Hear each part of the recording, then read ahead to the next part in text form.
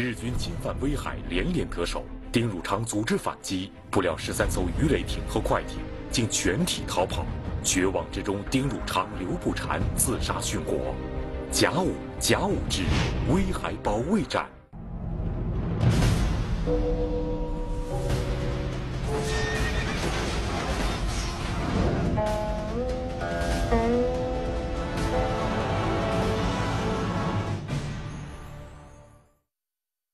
山东威海，清朝时也称威海卫，是中国黄海边一座重要的港口城市。在1894年那场中日甲午战争中，它是北洋海军的基地所在。今天的威海刘公岛，仍留有当年北洋海军的提督衙门、水师学堂、铁码头、炮台等设施的遗迹。他们安静伫立，却在无声呐喊。时光倒回一百二十年前，北洋海军正是在他们眼前一败涂地，全军覆没。那么，中日甲午战争是如何在威海结束的？百家讲坛栏目邀请海军航空工程学院马俊杰教授，为您讲述系列节目《甲午》甲午第十一集《威海保卫战》。上期节目啊，我们已经讲到了日军。发动对旅顺口的进攻的时候啊，北洋海军提督丁汝昌做出了一个非常艰难的抉择。这个抉择呢，就是放弃旅顺口，退守威海卫。他为什么在战局发展到这个时候，他要做出这样一个抉择呢？从军事的角度来讲啊，他主要是看好了。威海港的四大优点，也就是说，我退守威海港，是因为它有四大优点。那威海港都有哪些优点呢？我们来分析一下。第一个优点，就是它的地形好。这个威海啊，它位于山东半岛的东北端，它和辽东半岛的旅顺口啊。它是遥遥相对。如果我们说辽东半岛和山东半岛是共卫着渤海的两扇大门的话，那么旅顺口和威海卫就是这两扇大门上的锁。它的位置非常重要。这个威海港啊，它的正面是一个海湾子，在这个海湾的中间有一个岛屿。这个岛屿就是刘公岛。这个岛子呢，把整个海湾分成东和西两个海口。这样呢，就使得威海港成了一个天然的良港。什么叫天然的良港啊？首先，它港内的水比较深，便于大型的军舰来回活动，出入很自如。其次呢。这个港口的后路啊，有很多的高地，可以保护整个的军港。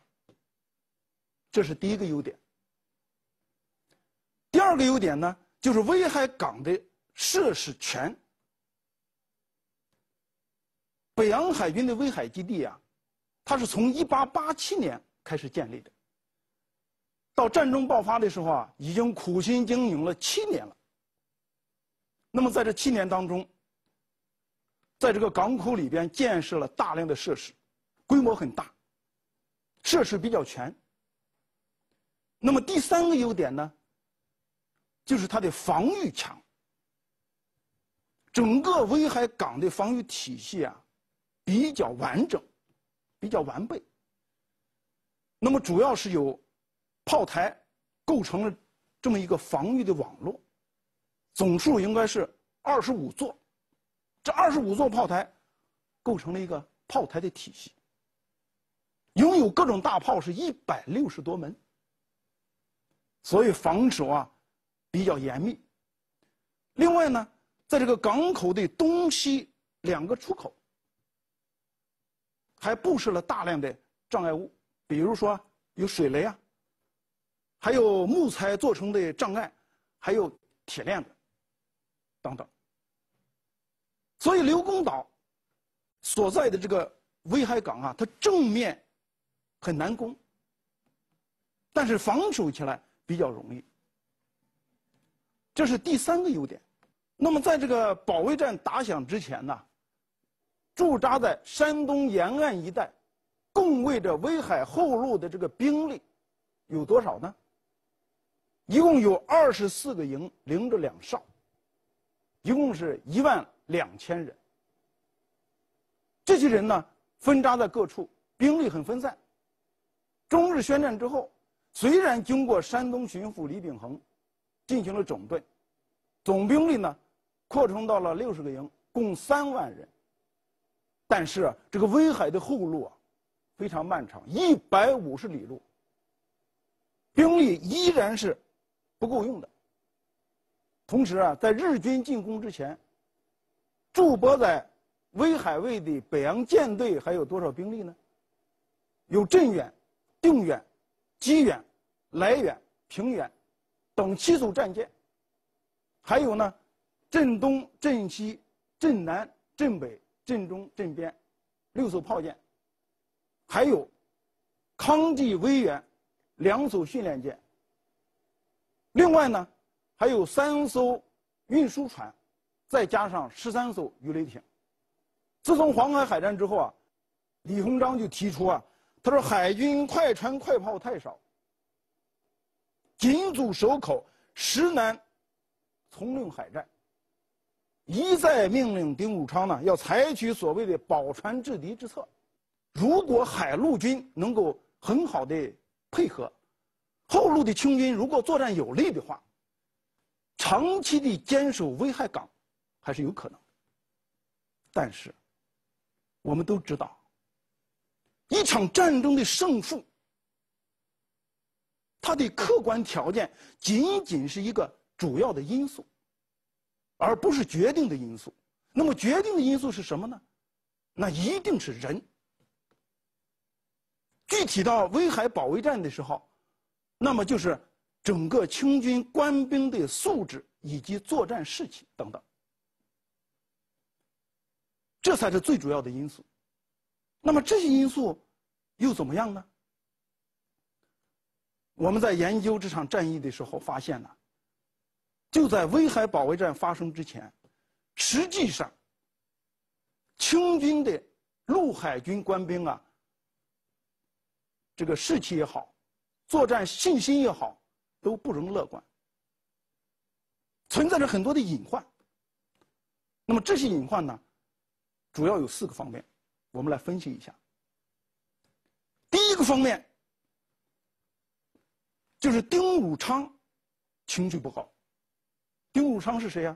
他是北洋海军的最高统领啊，他情绪不高，对于海陆军的影响那是非常大的。那么他为什么不高呢？因为在旅顺作战当中啊，他由于没有坚决的按照光绪皇帝的命令来执行，让他出海作战，他没有，他退出威海了。所以他说，呢，不但李鸿章。受到了慈禧和光绪皇帝的责难，丁汝昌受到了更加严厉的处分。这个处分啊，就是撤职、暂时留任，让你戴罪立功。所以丁汝昌啊，自己很清楚啊，他说我是有罪之人呐，我现在是戴罪立功啊，情绪比较低落，这是一个第一个不利的因素。那么第二个不利的因素，就是海陆军不相统数。那我们说驻扎在威海港这个区域当中的海陆军的官兵，这些部队归李鸿章直接指挥，这个没有问题。但是海陆军之间，他们之间没有相互的同属关系，也就是说，谁也指挥不了谁。李鸿章呢，他身在天津，他对这些部队的指挥是遥控指挥。所以，当陆海军的官兵出现需要协调的时候啊，都要通过李鸿章。那么第三个不利的条件，就是威海后路的防御不保险。甲午战争发生以后，清政府呢，在山东半岛的军队啊，进行了调整和部署。除了威海地区以外，在胶东一带驻扎的清军呢，有两万多人。这两万多人归谁管呢？归当时的山东巡抚李秉衡，哎，他来负责指挥。那么这两万多人，从数量上来看，不算少了，两万多人。但是呢，胶东一带啊，地域广阔，就是地方很大，你这两万多人根本就不够来配备的。特别重要的一点，也就是让李鸿章不放心的是，你这两万多清军，他的作战力量怎么样啊？作战士气怎么样？他不放心。那么第四个不利的条件，就是官兵士气很低落。这个地方主要是指的北洋海军的官兵，士气低落。特别是黄海海战以后啊。北洋海军的官兵这个士气是一落千丈。到了退守威海的时候啊，一有风吹草动，马上在整个的舰队当中啊，就弥漫开了失败的情绪。所以，以上这些因素，都是威海保卫战当中所存在的一些不利的因素。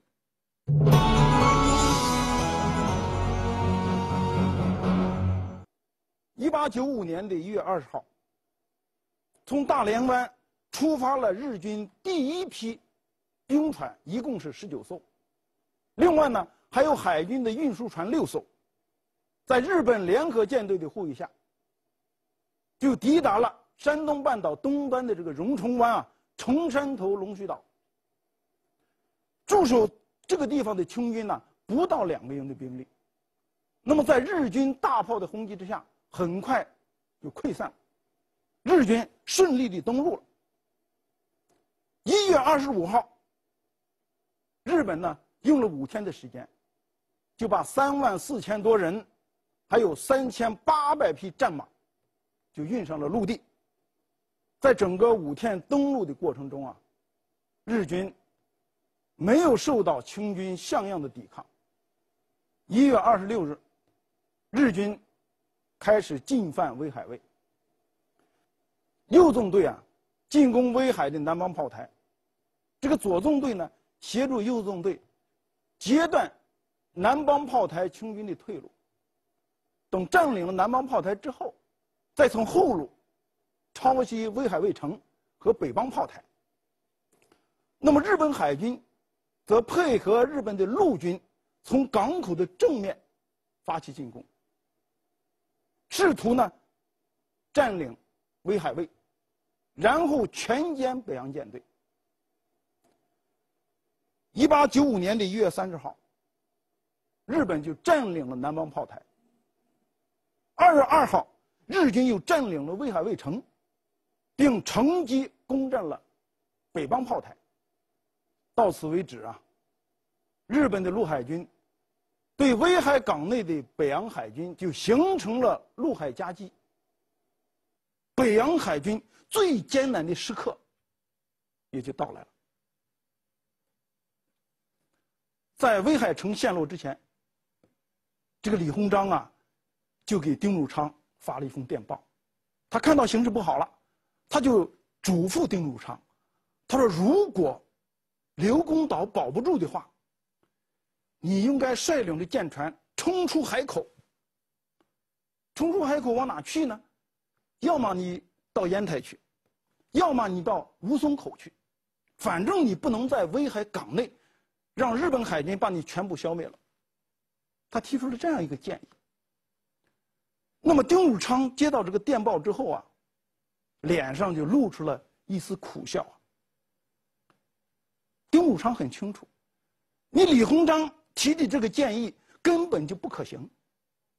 为什么不可行啊？他说：“别说我到烟台，或者是到乌松口了，我就是冲出海口，再想回来都做不到。因为在这个时候啊，中日两国海军的实力差距太大，所以丁汝昌就给李鸿章回了一个电报。他说呀，从现在的形势来看，率舰冲出海口是不可行的。一旦我冲出去了，那么守卫威海港的陆军就会心寒了。这一心寒以后，你整个战局都没法收拾了。所以这个不可行，我只能坚守威海港。也就是说，我死也死在威海港里。结果很快，威海城呢就被日军占领了。威海城被日军占领之后，威海的电报局也被日军占领了，电报整个电报的中断。当时啊，清军进行联络的这个电报是有线电报，要通过电报局的。你电报局被毁了。那么刘公岛上所有的信息就中断了，所以这个时候丁汝昌和李鸿章的联系和朝廷的联系全部中断。丁汝昌心里想了，这样也好，这样我的心呢就安静下来了，我可以一心一意的按照我自己的想法来坚守威海港。就这样。一场最艰难，也是北洋海军最后的一场海战，就即将发生了。那么回顾这场威海保卫战呢，它的头绪很多，整个过程很复杂。我在这里呢，可以通过几个关键的词，来把这场海战梳理一下。这第一个关键词，我们叫做袭击。袭击什么意思啊？指的是日本海军对北洋海军的袭击，同时也指北洋海军也试图对日本海军进行袭击。早在日军占领威海炮台的时候啊，实际上丁汝昌就已经想到了袭击，他就派出镇远舰三十名水兵，组成了敢死队，于一八九五年的二月二日这一天。乘坐着一艘运输船，就潜入了本邦炮台，并且呢，把这个北邦炮台给炸毁了。但是呢，随着战局的发展，丁汝昌所面对的，是日本海军一轮又一轮的袭击。刚才我们都讲到了，威海港的正面啊，它是易守难攻，两个海口都布置了大量的障碍物。日本海军大型的军舰想从这两个海口进到港内是不可能的。日本联合舰队的司令长官伊东佑亨就想了：我从正面没法突破呀，大型的军舰进不去怎么办呢？我派小型的鱼雷快艇，在你两个口之间寻找缝隙，然后钻到你港内来，近距离的对北洋海军进行袭击。所以他就想了这么一个办法，于是就派出了鱼雷艇偷袭北洋海军。第一次偷袭发生在一八九五年的二月三号。这天晚上呢，日本海军派出了两艘鱼雷艇，悄悄地潜入到港内了。结果很快被发现，发现以后啊，各舰的大炮一起轰击，这两艘鱼雷快艇仓皇逃窜。没有造成大的损失，只把一条铁链子给砍断了。但是日本海军不罢休啊，更大规模的袭击放在了后头。这就是二月五号这一天，这一天呢，天很黑，天上还飘着雪花。日本海军就利用了这样一个黑夜，派出了八艘鱼雷艇。就潜入到了威海港口里面。这八艘鱼雷艇进来之后啊，很快被北洋海军的警戒舰发现了。发现之后呢，各个舰就一起开炮，啊，朝着八艘鱼雷艇进行炮击。结果呢，这些鱼雷艇跑的跑，沉的沉，还有搁浅的，只有一艘鱼雷艇在逃跑之前，他发现了前面有一个。黑乎乎的一个军舰的影子。这个军舰啊非常大，他不问青红皂白，就发射了一枚鱼雷。这枚鱼雷就击中了这艘军舰。那么这艘军舰到底是哪艘军舰呢？它正是北洋海军的旗舰“定远号”。结果这枚鱼雷就击中了定远舰的左舷中部，击了一个大洞。这个海水啊，哗哗的就灌到了船舱里边去了。很快的，定远舰就开始倾斜了。管带刘步蟾一看事情不好，立即下令起锚。干什么？他说：“我如果不起锚的话，整个军舰就沉到海底下去了。他要等，在这个军舰沉没之前，要把这艘军舰开到浅滩去搁浅。于是啊，定远舰就开走了。”一直开到了刘公岛的南岸一个浅滩上，就坐滩了，啊，搁浅了。它可以作为一个固定的炮台来使用。所以这次袭击啊，对北洋海军的打击非常沉重。这次袭击完了以后啊，并没有算完呢。日本还接二连三地派出鱼雷艇潜到港内进行袭击。那么这样呢，造成的损失是越来越大，来远舰被击沉了，威远舰也被击沉了，北洋海军抵抗的力量是越来越弱。一个充满智慧的神秘作者，如何成就出石破天惊的兵书之手？一部中国现存最早的传奇兵书，又是怎样改变着中国和世界两千多年的军事思想？与众不同的最新解读，跨越时空的中国智慧系列节目《马骏品读孙子兵法》第二部《百家讲坛》隆重献映，敬请关注。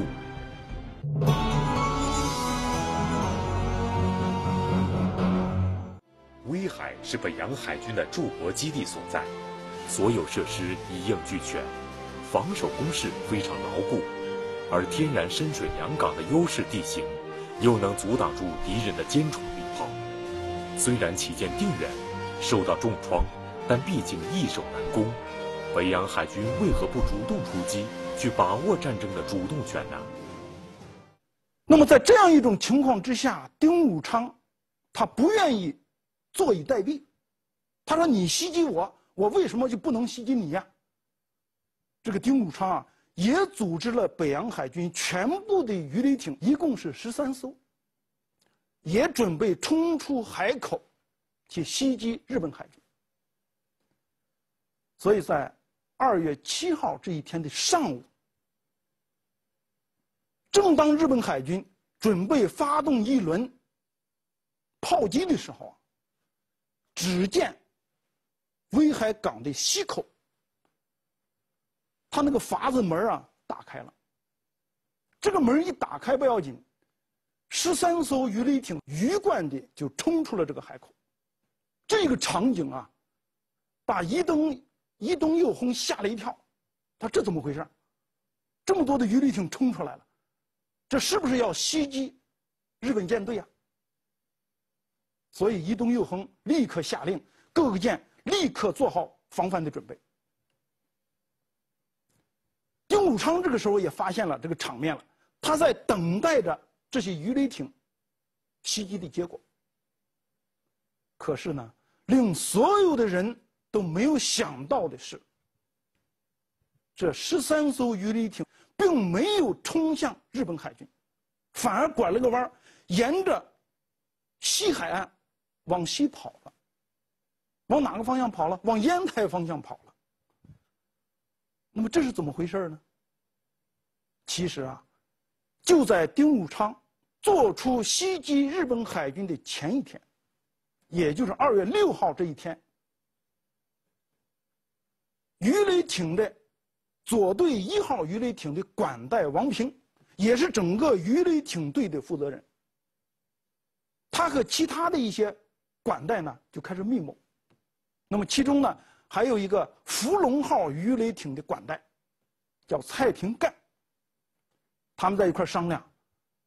他说明天提督让我们袭击日本舰队。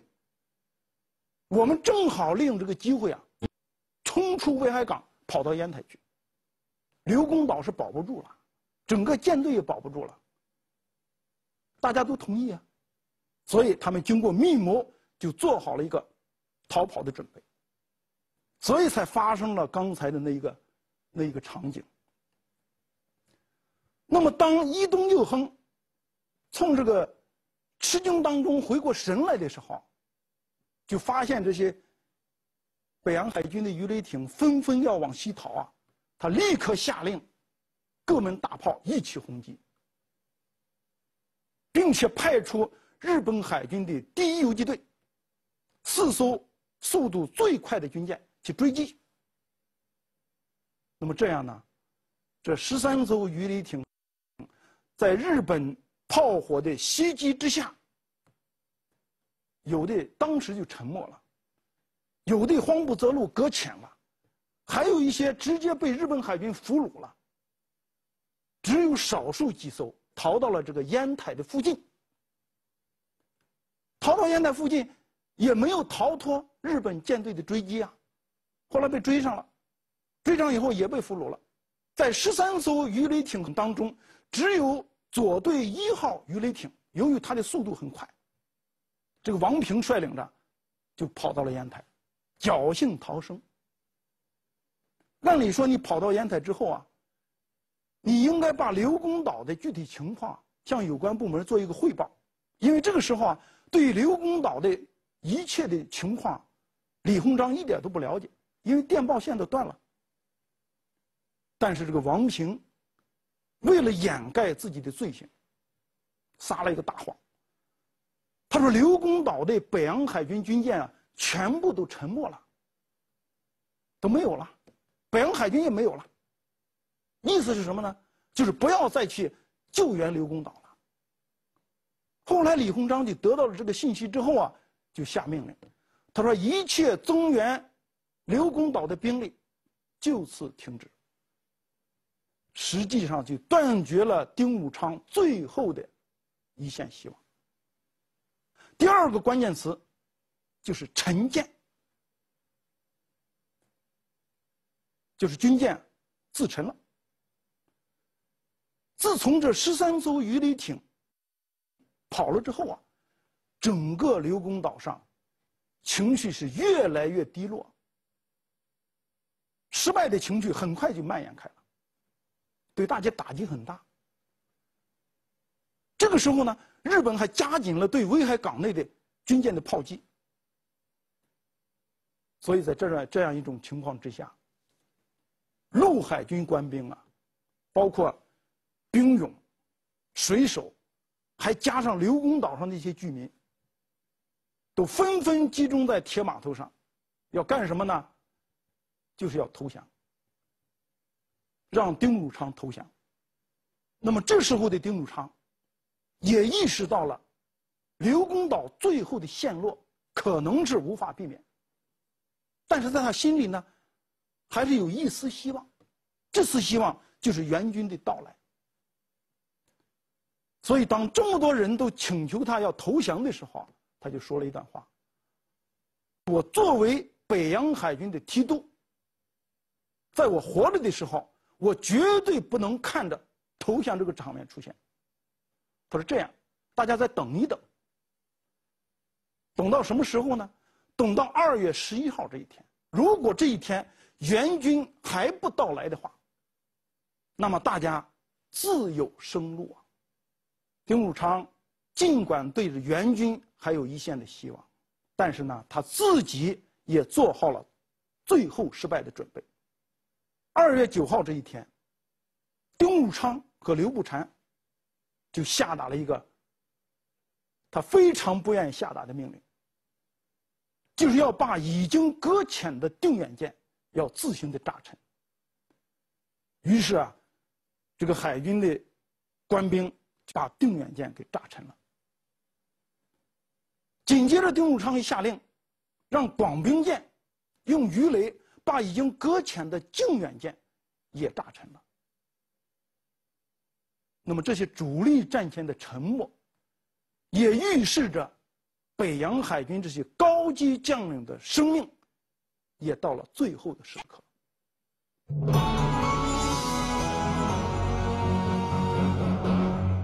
定远舰是北洋海军的旗舰，它的沉没也意味着北洋海军这支建立于1888年的清朝第一支近代化海军，实力曾经位居亚洲第一的海军舰队，在1895年这个农历春节走到了生命的尽头。丁汝昌、刘步蟾这些亲手建立北洋海军的有志男儿们，此刻的内心该有多么的悲痛！古人云。文死谏，武死战，他们将用自己的方式来告别世界，永远陪伴他们的这些舰船。这就是第三个关键词：殉国。这个刘公岛上啊，平时的烟馆很多，就是大烟馆啊很多，在这些烟馆里边要买到鸦片烟。那是很常见的事情，很容易。但是自从刘公岛被日军包围之后啊，整个刘公岛上的烟馆里边鸦片买不到了。为什么呢？两个原因。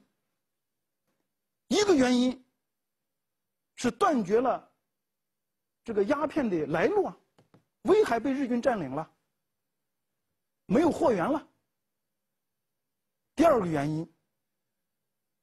就是海陆军的军官大量的购买鸦片，都去买鸦片，买了干什么呢？就是准备自杀。当时的丁汝昌和刘步蟾自己都准备好了一份鸦片烟，放在那个地方。所以，当二月九号这一天定远舰被自行炸沉之后啊，到了第二天。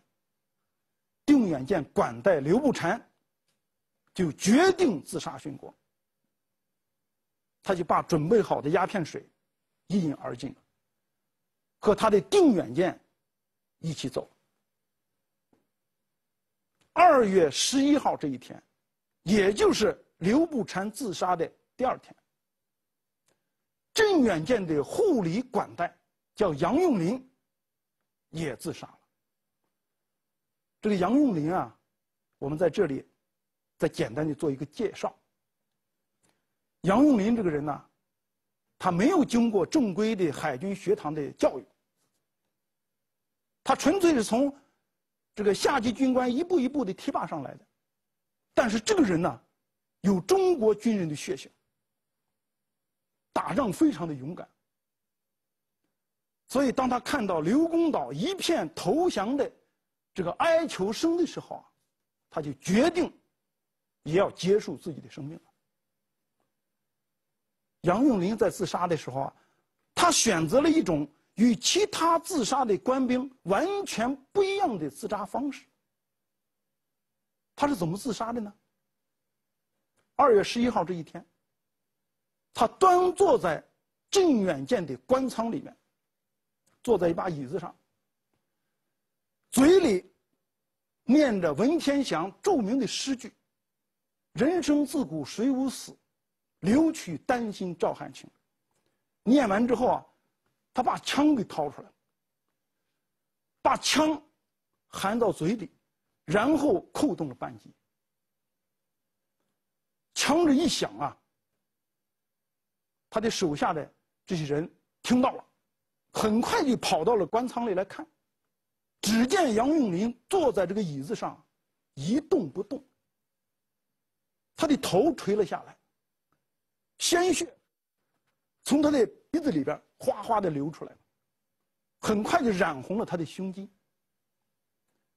手里还紧握着那把手枪。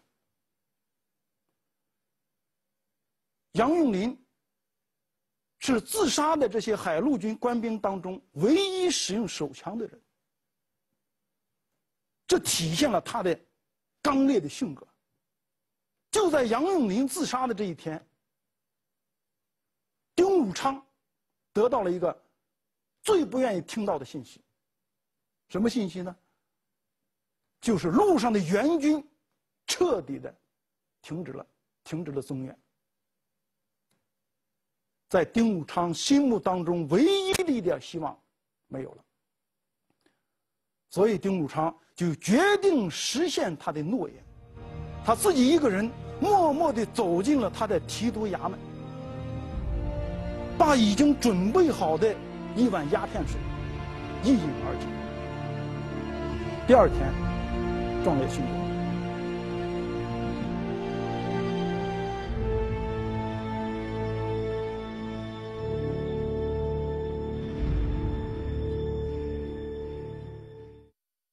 丁昌自杀之后啊，北洋海军当中、陆军当中，都有一些人主张投降，开始筹划投降。这就是我要说的第四个关键词：投降。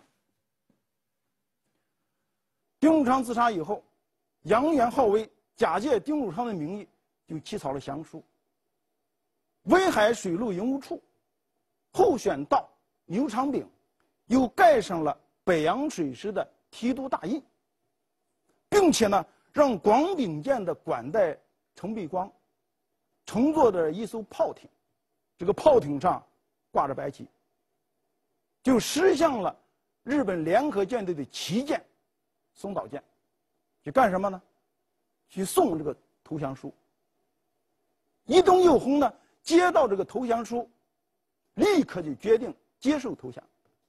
二月十四号，这个牛长炳啊，又一次来到了松岛号上，与这个伊东佑亨就签订了威海降约。二月十七日上午八点。日本联合舰队就驶进了威海港。北洋舰队的镇远、吉远、平远、广丙四艘军舰，还有六艘炮舰，就降下了旗帜，换上了日本旗，编入了日本舰队。下午四点，这个康济舰啊，就载着丁汝昌、刘步蟾、杨用林、戴宗谦、沈寿昌、黄祖廉。等六名将领的灵柩，还有海陆将变以及杨远，在悲风凄雨当中就离开了威海港。到此为止，威海保卫战就结束了。李鸿章等人苦心经营了二十多年的北洋海军，在一八九五年这个最寒冷的冬天。全军覆没。那么到这里为止，我们说，在整个甲午战争当中啊，中日之间进行了三次海战。这三次海战都以北洋海军的失败而告终了。那么这起海战对整个甲午战争，它又会产生什么影响呢？请看下集。